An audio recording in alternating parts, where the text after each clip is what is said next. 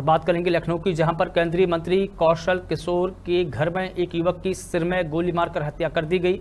मंत्री के बेटे की पिस्टल से वारदात को अंजाम दिया गया है। खून से लथपथ शव बेडरूम में मिला है। वहीं मंत्री कौशल किशोर के बेटे का दोस्त था डीसीपी ने कहा कि बरामद पिस्तौल केंद्रीय मंत्री के बेटे की बताई जा रही है। वहीं केंद्रीय मंत्री के बेटे के बारे में कोई बयान नहीं आया है। सिर्फ़ इतना कहा गया है कि तहरीर मिल गई है। मुकदमा दर्ज किया जाएगा।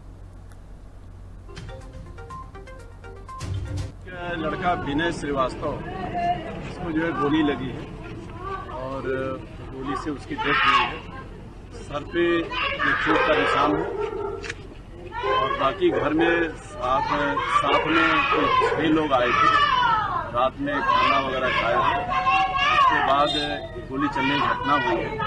इसमें उसको गोली लगी है पिस्टल भी मिली है।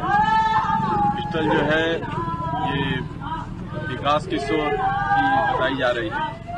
सारी चीज़ छानबीन की जाएगी। सारी डिटेल हम लोग फोरेंसिक टीम को लगाए हुए हैं। जाँच का विषय है क्या घटना हुई? अंदर तो इस पर मुझे जब पता चला तो मैंने कमिश्नर साहब को, पुलिस आयुक्त जी को फ़ोन करके मैंने ये सूचना दी तो से बात पता चली कि उन्होंने कहा कि किसी पूछताछ भेजते हैं।